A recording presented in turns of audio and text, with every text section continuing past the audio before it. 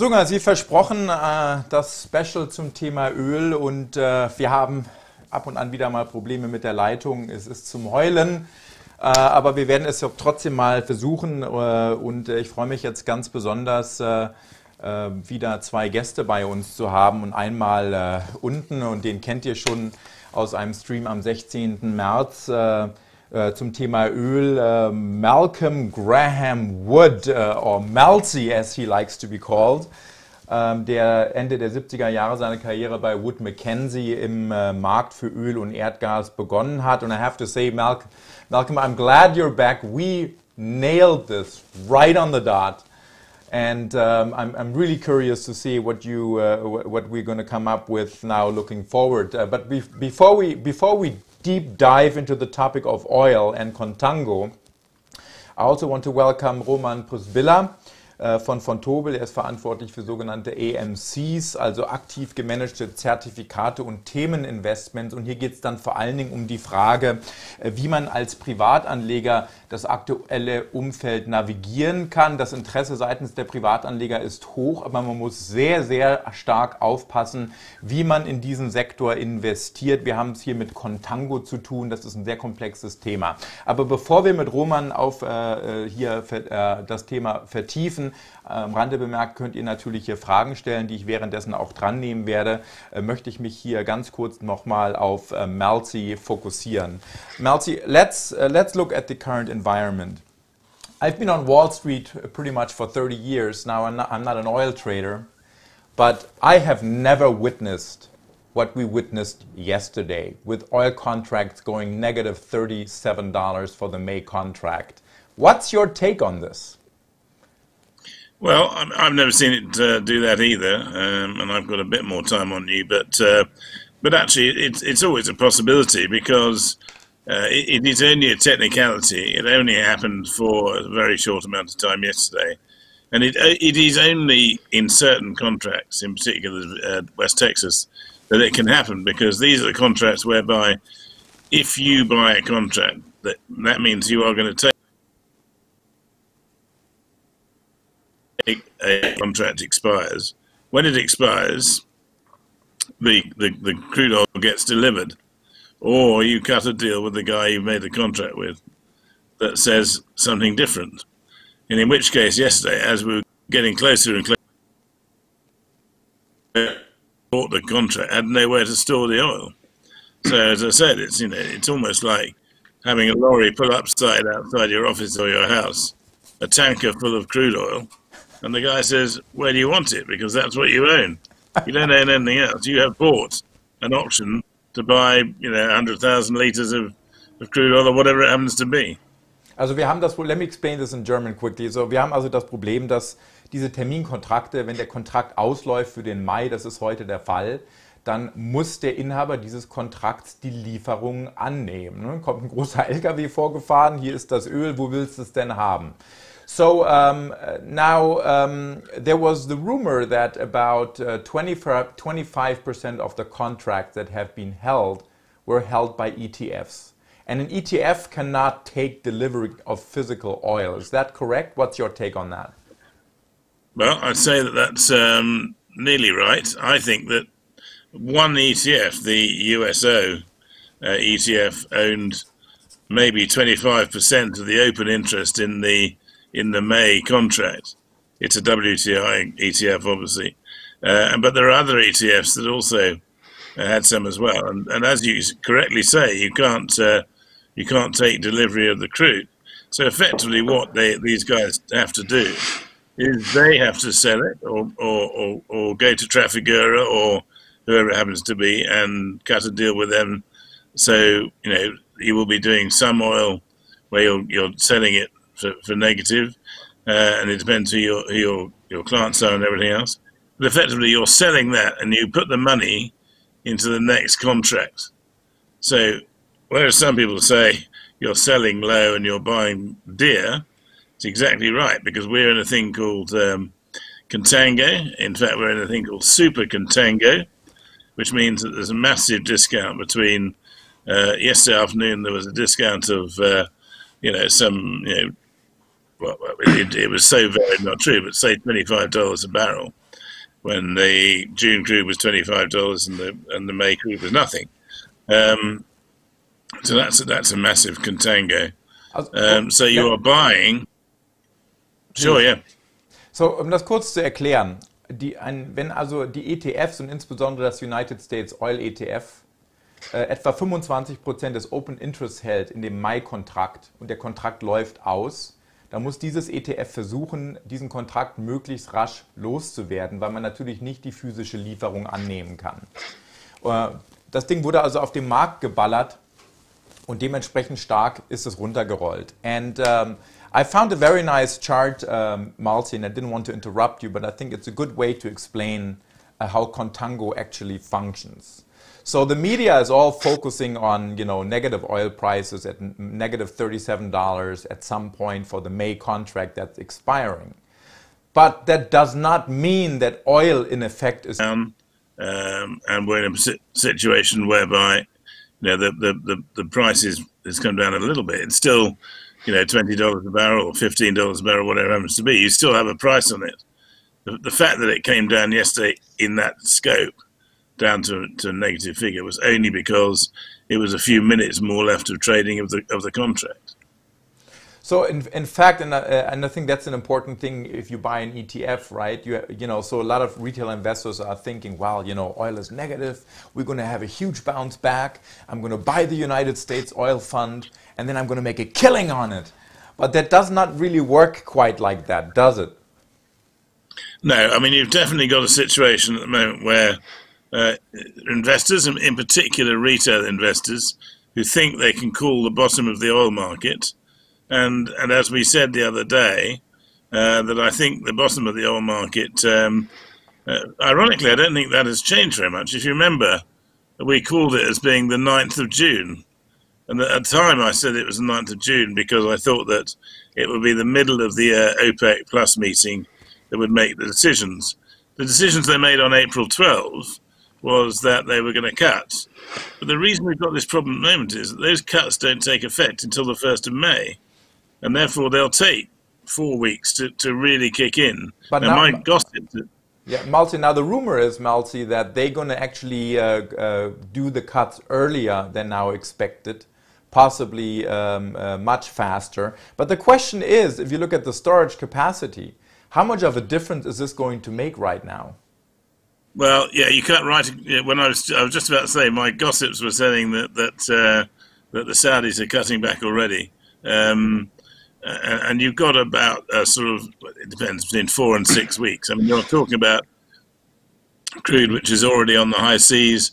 Uh, even if they turn down, as we understand, they might have done uh, in way back in uh, you know the, the weekend.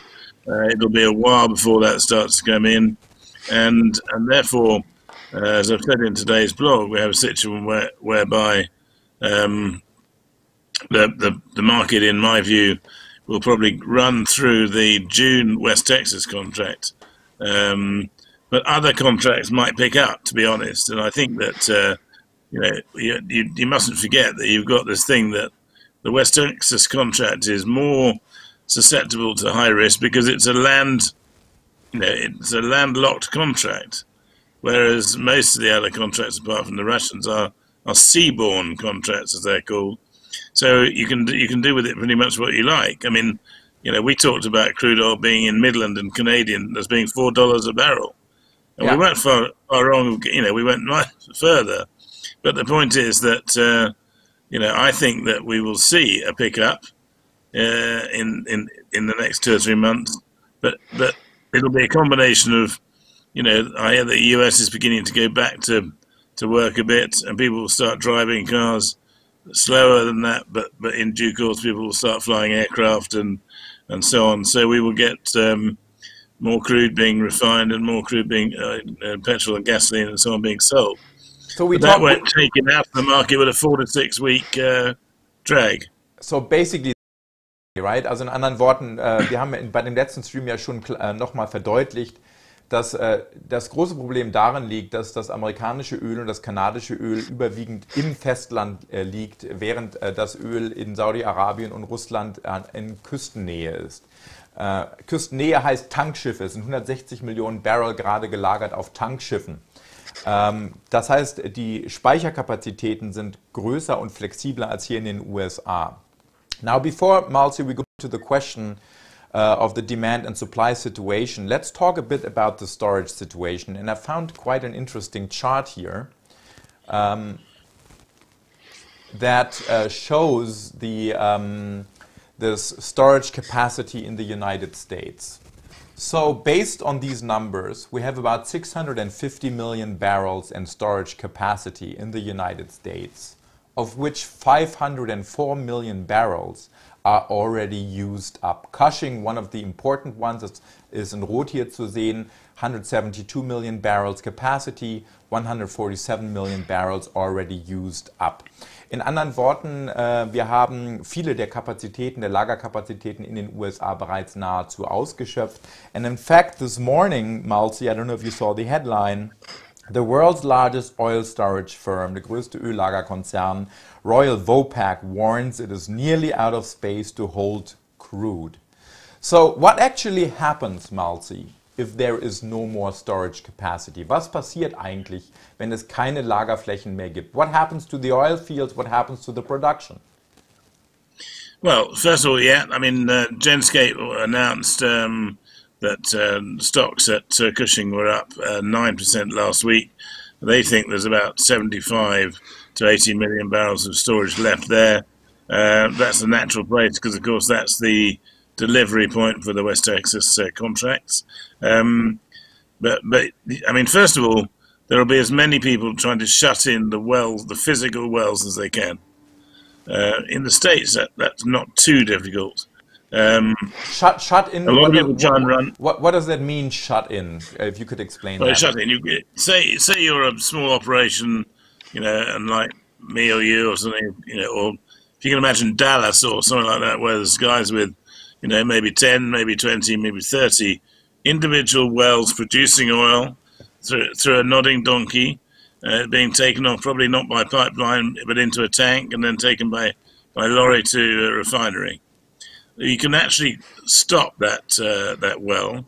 You put a you put a, a, a, a thing like a blowout preventer, a cap on the top, and that, that that just stops it. It doesn't go anywhere. So, in other words, uh, what you're saying is that the oil producers could uh, essentially stop pumping oil. Yeah, and the difference is the size. A lot of them would like to, you know, I think we mentioned it last time. Would like to run the business for cash. You know, just run it for whatever they can get out of it in, you know, in dollar bills at the end of the month when the guy comes to collect the oil, because they want either they want a royalty, they want a bit of money themselves, or they've got people in the organisation they need to pay. So, what do you think about the idea? äh, also in anderen Worten, die Ölfelder, wenn die Lagerflächen ausgehen, können die Ölfelder Stück weit stillgelegt werden oder man pumpt so viel Öl, um letztendlich gesehen wenigstens den Cashbedarf der Quelle aufrechtzuerhalten. Nun hat Donald Trump ja in den Raum gestellt oder die internationale Energiebehörde, die, die, äh, die Energiebehörde in den USA, dass man Öl, dass man Öl quasi, dass man die Ölkonzerne bezahlt, Öl nicht mehr zu pumpen. There has been the rumor, Malcy, that uh, the Trump administration, the strategic oil reserves, will pay the oil producers for not pumping oil. How insane is this idea? Uh, well, I've heard it, and I think it is insane. I don't think that uh, uh, I don't think it's very likely to happen. I mean, I, I think that you know the oil production uh, in the states is falling off a cliff as we speak.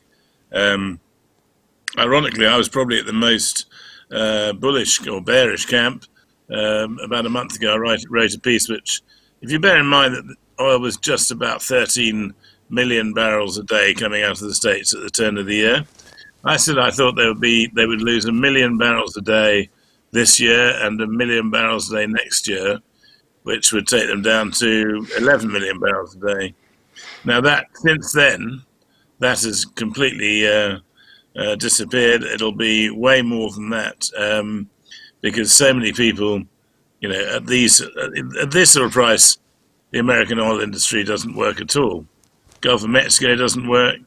You know, none of the shale works. Some of the the, the, the big old uh, stripper wells will work, but but but nothing where there's any any expensive kit on on the process. Uh, Malcy, there's one question here from the audience. Uh, how difficult is it to just increase capacity? Is it is it isn't it uh, you know building a building a, a, sh a, ship that stores oil seems to be more complicated than just creating oil storage. Um, how difficult is it to increase oil storage? It, it's very difficult indeed. I mean, the, the, the, the, most important bit of oil storage is not taking it out of the ground.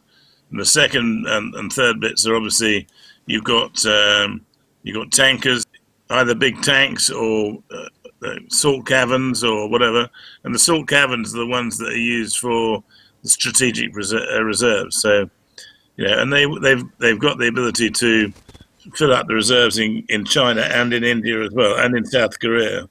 But it's not enough to make the to change the whole situation around on the on the on a sixpence.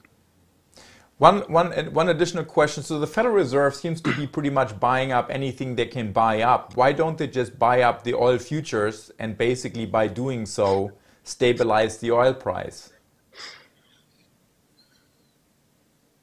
I think I got the question as being assuming why doesn't the Fed buy buy oil in as well? But if they did, they would have to put it someplace. and at the moment, I think what they'll be doing is buying it, for the SPR. So um, you know, their, their, their, their, their bit of the OPEC Plus deal is to make sure that um, uh, that the uh, the US cut their production, and if that is by the end of the year, we might have cut by five million barrels a day, not the two million barrels. I was out there with the that was the biggest number in the marketplace six weeks ago. Um, I mean, it's pretty much. So it would add to the OPEC plus nine million so but one could say that i mean so it doesn't actually to me Malcy it doesn't sound so much out of the question that the us might indeed decide to uh, pay the uh, oil industry to not pump for the strategic reserves also a big republican base we have the presidential election coming up Trump has to do something to support his voter base. I think I think it should be interesting to see what happens on this front. Now, um, but let let me um, uh, let me uh, um, um uh, close this the, these the, this topic. So number one is. Uh, the OPEC might uh, draw further, the, might um, push the, the, the reduction date further, closer to now. Point one. Point two, uh, the oil industry in the United States might have to cap production or will have to cap production if storage facility runs out. Um, the last question before I, I uh, hand over our uh, discussion to uh, Roman, uh, I would like to um, look at the demand and the supply picture, which then should answer the question when we um, when prices sh sh should stabilize. So in this graphic here from Nordea, you see oil demand. Oil demand is at its lowest level since 95. And then you see a reduction of oil supply in light blue. And, uh, in this, uh, and you see the stockpiling. Um, that does not look like the, um, uh, the, the, the reduction in supply is enough to nearly balance the market. In anderen Worten, die Nachfrage ist so stark eingebrochen, reichen die äh, Produktionskürzungen tatsächlich aus, um den Markt zu stabilisieren? What's your take on that, Malti? So I don't know whether you're, uh, I didn't pick up the last bit of the okay. question, but so the point is that the, the, in the, the second half of this year, uh, you will start to draw from that uh, that stock very rapidly indeed. If the world economy picks up, China and the US and so on go back to work, uh, uh, and the demand will go back very very smartly, and the supply, you know, it could end up as being minus the 15 to 20 million barrels a day that the OPEC Plus do, especially if the Americans lose six million barrels a day. So, I mean, if you're a long-term oriented investor, and Goldman Sachs had, had quite an interesting chart because you're seeing a decoupling of, of, this, of equities and the underlying price. So uh, a lot of the uh, oil stocks yesterday and today, they're weak, but they're not falling off the cliff that they did a couple of weeks ago. And Goldman Sachs was saying that if history repeats, that's quite a usual performance that the oil stocks bottom way before the oil price bottoms. Also in anderen Worten, Goldman Sachs hat festgestellt, dass historisch betrachtet der Ölpreis, also Ölaktien, äh, sich irgendwann vom Ölpreis entkoppeln und sich schneller stabilisieren und wieder anziehen als der Ölpreis. Wenn man also langfristig denkt, ist der Zeitpunkt gekommen, sich hier wieder zu positionieren. So the question is, uh, Malzi, um, is this decoupling of equities uh, from the underlying a good signal? And if you think that oil is going to be recovering in the second half, is the time to invest long term in, in, in, in, in oil equities, is the time about ripe now? Yeah, I mean, uh, people have to be uh, reasonably long-term players because you've got at least one quarter of really tricky uh, times to come. Um, but as people start to look further out, uh, they will see what we saw uh, in 2014.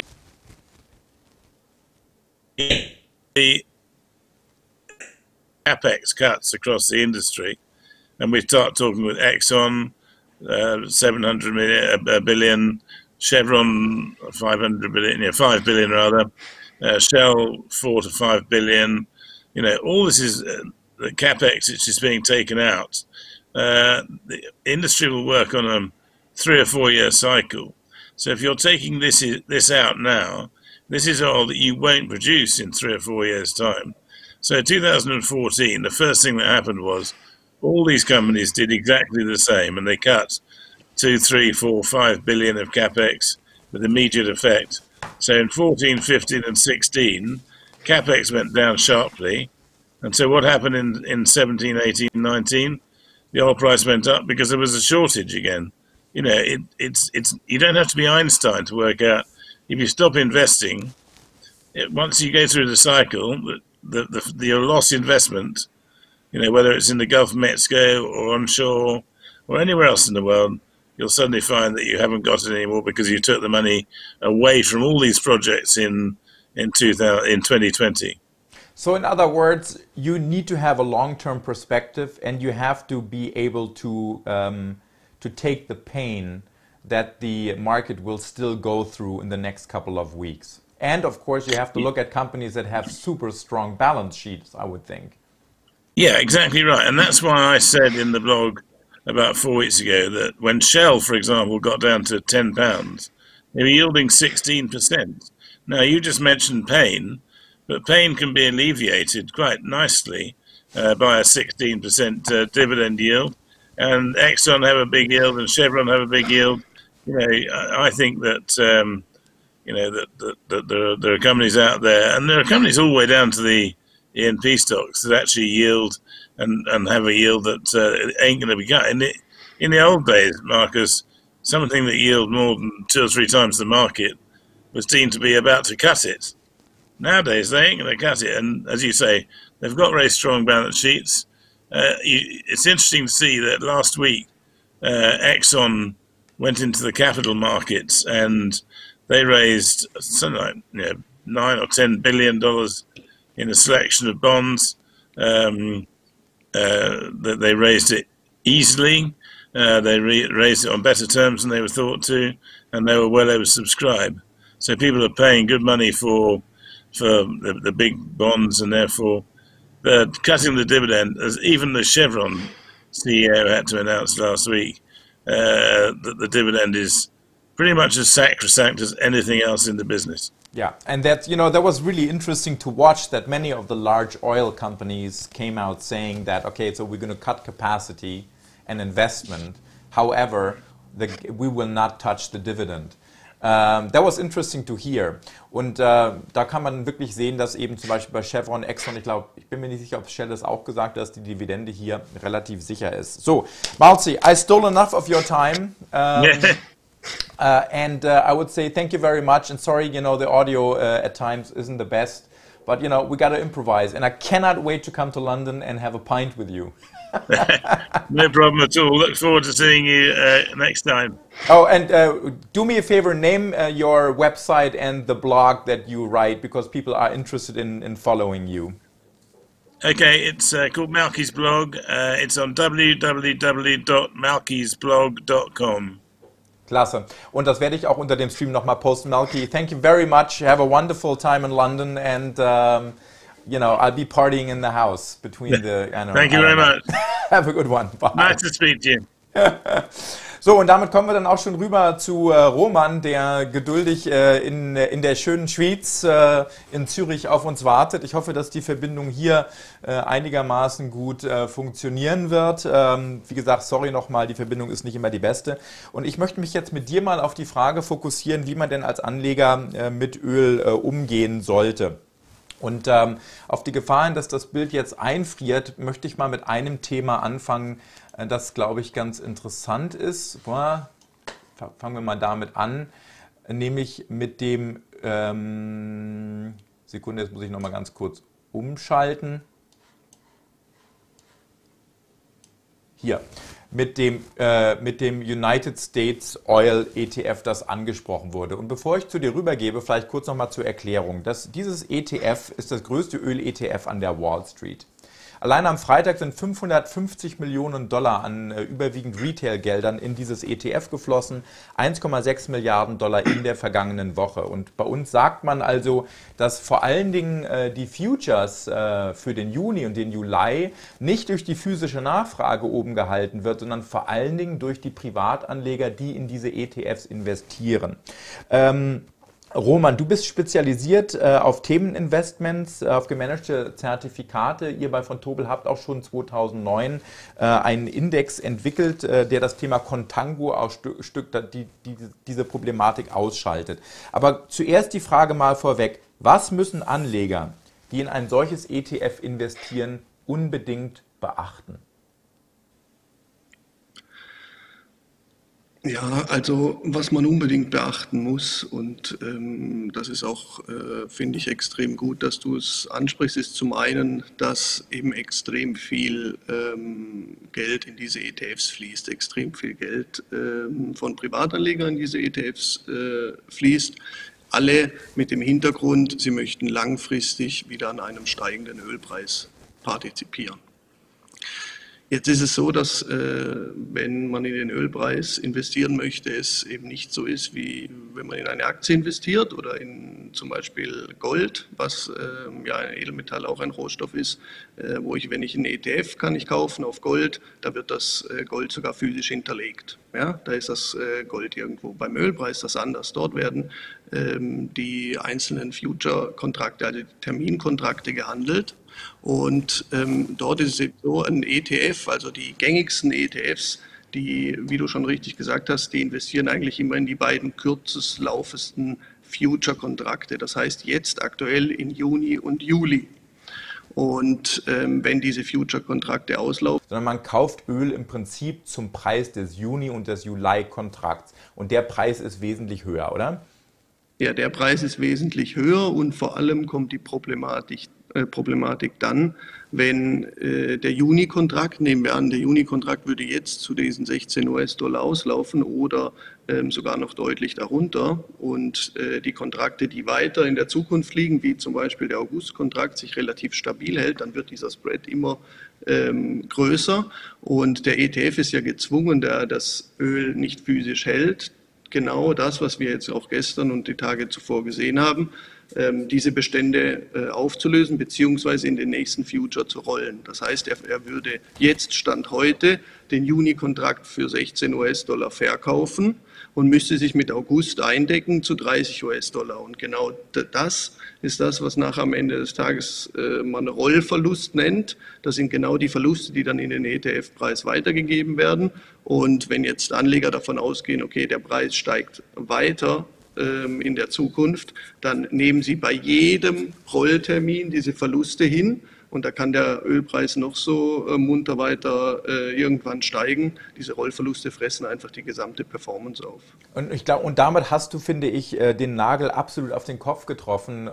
Viele Privatanleger realisieren nicht, ähm, dass diese ETFs im Prinzip ein Kontrakt, der ausläuft, äh, für billiges Geld verkauft, um für wesentlich mehr Geld den nächsten Terminkontrakt einzukaufen. Da liegt wirklich das absolut große Risiko drin und das muss man verstehen. Äh, man nennt das Contango. Ähm, kannst du vielleicht ganz kurz nochmal erklären, wir befinden uns in Contango, dann haben wir auch noch Backwardation. Ähm, wie, in welchem Umfeld würde ein solches ETF normal funktionieren? Naja, also wie du es richtig sagst, wir befinden uns aktuell in einer Situation, ähm, die man Contango nennt. Das heißt, die ähm, Kontrakte in der Zukunft, also die länger laufenden Kontrakte, sind teurer als die Kontrakte, die kürzer laufenden. Das heißt zum Beispiel, wie wir das am einfachen Zahlenbeispiel sehen, der Dezember-Kontrakt notiert bei 30 US-Dollar und der Juni-Kontrakt bei 15 US-Dollar. Wenn man das jetzt stufenweise sich anschaut, 15, 25, 30 etc., dann entsteht äh, eine Kurve, die, diese Kurve nennt man äh, Contango und aktuell sind wir sogar in einem sogenannten Super Contango, äh, weil die Kurve extrem steil ist. Das heißt, äh, wir gerade am, äh, am unteren Ende also das heißt, an den kurzlaufenden Futures sind wir extrem weit auseinander von den langlaufenden. In dieser Situation äh, erleiden Anleger eben diese Rollverluste. Jetzt gibt jetzt, es die gegenteilige. Ja. ja. Jetzt äh, lass uns ganz kurz, ich springe jetzt mal, Roman. Ähm, ich weiß, die Frage ist eigentlich nur halb beantwortet, aber ich möchte jetzt trotzdem mal springen, weil die Frage gerade aus dem Publikum kommt. Ich weiß nicht, ob du was dazu sagen kannst. Äh, warum dann nicht einfach CFDs handelst? CFDs sind doch super äh, für Öl kurzfristige Trades. Naja, wir sehen auch eine enorme Frage, Nachfrage nach Hebelprodukten, wenn man kurzfristig äh, am Ölpreis äh, partizipieren möchte, beziehungsweise wenn man äh, kurzfristig den Ölpreis handeln möchte. Das sehen wir auch und das ist auch äh, eine gute Form, kurzfristig den Ölpreis. Also die Nachfrage ähm, heute ist explodiert nach ähm, Hebelprodukten, eben gerade äh, auf äh, fallende Kurse, auf den Juni-Kontrakt, weil jetzt viele davon ausgehen, dass der Juni-Kontrakt sich ähnlich verhält wie der äh, Mai-Kontrakt zuvor. Das heißt, gegen Ende der, der Laufzeit, wenn er ausläuft, ähm, extrem an Wert verliert. Das ist auf kurzfristiger Basis sicherlich ähm, ähm, etwas, was man machen kann. Auf Hebelprodukte switchen ich persönlich äh, finde dort einfach das Risiko zu hoch, wenn ich sage, ich möchte wirklich langfristig unterwegs sein. Und das sehen wir ja. Dort fließen auch die großen Gelder rein. Deshalb äh, sprechen wir ja auch dieses Thema ähm, aktiv heute an, weil extrem viel Geld fließen in diese ETFs, extrem viel Geld fließen die passiven Anlagen und dort muss man eben diese Rollverluste hinnehmen. Das haben wir 2009 schon gesehen, ähm, als wir genau dieselbe Contango-Situation hatten, wie wir sie heute haben. Ähm, dass Anleger dort äh, extreme Rollverluste erleiden mussten, als der Ölpreis wieder angezogen ist, die Performance aber nicht mitgegangen ist. Also fassen wir das in wenigen äh, Worten nochmal zusammen. Also Punkt 1 ist, äh, CFDs sind für den kurzfristigen äh, Trader hier durchaus äh, äh, verwendbar. Man muss sich natürlich nur über die Risiken bewusst sein bei Hebelprodukten. Der nächste Faktor ist, Malzi sagt also, Zweites Halbjahr dürften wir eine Stabilisierung und eine Erholung der Ölpreise sehen äh, und vor allen Dingen auf Sicht von drei, vier Jahren, weil so viel Ölproduktion letztendlich gesehen offline geht. Der dritte Faktor, und das äh, möchte ich jetzt auch ansprechen, Wer also jetzt langfristig äh, auf den Bereich setzen will, wie geht man genau vor? Da gibt es jetzt zwei Möglichkeiten. Man kann auf die Aktien direkt setzen. Hier muss man auf die Bilanzen achten, das ist klar. Ähm, und ähm, äh, obgleich, dass sie jetzt keine Empfehlungen darstellen sollen, weil die dürfen wir hier nämlich nicht geben, ähm, äh, muss man sich, glaube ich, bei den Öl-Service-Dienstleistern wirklich aufpassen, weil hier natürlich auch die Anzahl der Produktion der Bohrinseln schlichtweg deutlich sinken wird. Das muss man hier beachten. Ähm, jetzt habt ihr ähm, vor 2009, äh, als wir den letzten Preisschock hatten äh, und als wir eine ähnliche Contango-Situation hatten, habt ihr einen Oil Strategy Index entwickelt. Ähm, wie funktioniert der und wie hebt er sich ab von den ETFs? Naja, wir haben uns damals genau dieselbe Frage gestellt, dass wir ähm, diese Situation gesehen haben am Future-Markt, dass die Contango-Situation einfach ähm, enorme Rollverluste ähm, her herbeiruft. Und jetzt gibt es zwei Möglichkeiten, wie ähm, du vorhin auch schon mit Malcolm richtig besprochen hast. Äh, auf der einen Seite ähm, kann ich in Ölaktien langfristig investieren, die ähm, hoffentlich den Boden etwas schneller finden und dann auch die Erholung mitmachen. Und auf der anderen Seite kann ich eben direkt in den Ölpreis investieren. Dort muss ich eben auf äh, die Situation am Terminmarkt hm, Acht geben. Was wir jetzt gemacht haben, wir haben beide Welten miteinander verbunden. Das heißt, wenn sich der, ähm, der Ölmarkt, so wie wir ihn jetzt haben, in einer Contango-Situation befindet, dann investiert der Index in zehn ausgewählte Ölaktien. Warum macht er das? Weil wir genau diese Situation der Rollverluste vermeiden möchten. Das heißt, er, ähm, wir schauen quasi jeden Monat drauf, befindet sich der Ölmarkt in einer Contango oder in einer Backwardation-Situation. Befindet er sich in einer Contango-Situation, investieren wir innerhalb des Index in zehn Ölaktien. Sind wir in einer Backwardation-Situation, wo der Anleger sogar Rollgewinne erzielt, dann äh, investieren wir eben in den entsprechenden Öl-Future-Kontrakt. Sind, das, äh, sind diese zehn Aktien, die festgelegt werden, aktiv gemanagt? Also schaut man sich auch die Bilanz an oder ist das ein passives Instrument? Also die, ähm, die Auswahl der zehn Aktien erfolgt zweimal im Jahr, einmal Ende Juni, einmal Ende Dezember. Dort äh, schaut man sich eben die äh, zehn Top-Aktien nach Marktkapitalisierung an. Ähm, die müssen ihren Hauptsitz in den USA oder Kanada haben ähm, und müssen eine gewisse Marktkapitalisierung und äh, Handelsvolumen haben, dass sie einfach groß genug sind. Und nach, dem, nach diesen Kriterien werden diese zehn Top-Aktien ausgewählt und in diese Aktien werden dann die nächsten Monate investiert, wenn wir uns in einer Contango-Situation befinden. Jetzt haben wir den United States Oil Fund ja schon mehrfach angesprochen und hier haben wir die Problematik mit dem Futures, hier haben wir die Problematik mit dem Contango und es kann wie gesagt sein, dass der Ölpreis sich erholt, aber dieses ETF trotzdem an Wert verliert. Äh, für mich die spannende Frage im Zusammenhang mit diesem Oil Strategy Index, wie hoch ist denn die Korrelation zum eigentlichen Underlying, also zum physischen Öl? Ja, die Korrelation ist, ähm, ist sehr hoch. Auch die ähm, Korrelation der Aktien, die jetzt in diesem Index, die zehn Aktien, also aktuell investieren wir ja auch in diese zehn Aktien. Also da ist eine Chevron dabei, eine Exxon äh, Mobile, eine Philips äh, 66. Ähm, das sind eben zehn äh, Aktien aus USA, Kanada. Dort ist die Korrelation, wenn man die jetzt auf ein Jahr sieht, extrem äh, hoch zum Ölpreis und entsprechend auch, wenn man sich die, sage ich mal, die historische Performance anschaut des Öl Strategy äh, Index, den haben wir jetzt schon seit 2009, auch wenn natürlich, sage ich mal, die Wertentwicklung in der Vergangenheit jetzt äh, kein Indikator für die Zukunft ist. Aber ähm, dort sehen wir eben, dass wir gerade den Ölpreis, sowohl den Ölpreis wie auch ähm, die Benchmark eben äh, den entsprechenden ETF äh, klar outperformt haben. Jetzt kommt eine Frage hier aus, dem, aus der Community äh, von Tobel Öl Index. Wer hält die Dividende in dem Index? Weil die Dividenden ja, wie Malzi schon angesprochen hat, nicht ganz unwichtig ist bei diesen Werten. Also wir haben den Index so aufgesetzt, dass die Dividenden direkt wieder reinvestiert werden. Das heißt, die werden an den, ähm, äh, an den Anleger weitergegeben. Das ist eben auch gerade das Spannende äh, an dem Index. Das heißt, ähm, die Dividenden, also ist als Total Return aufgesetzt, der Index, die äh, Dividenden äh, werden entsprechend dann weitergegeben und äh, dann kommt es auch immer zu einer äh, positiven Anpassung. Hier kommt auch gerade noch der Kommentar von Eddie Lee, dass der USO, also der United States Oil Fund in Deutschland, nicht gekauft werden kann. Nichtsdestotrotz würde ich mal stark vermuten, dass es in Deutschland auch Öl-ETFs gibt. Ne? So, jetzt haben wir, äh, der immer normalerweise zu handeln, macht für überhaupt keinen Sinn weder den Ölpreis äh, als normaler Privatanleger zu handeln, hier der Kommentar von Martin, den Ölpreis als normalen Privatanleger zu handeln, macht für mich überhaupt keinen Sinn, weder kurz noch langfristig.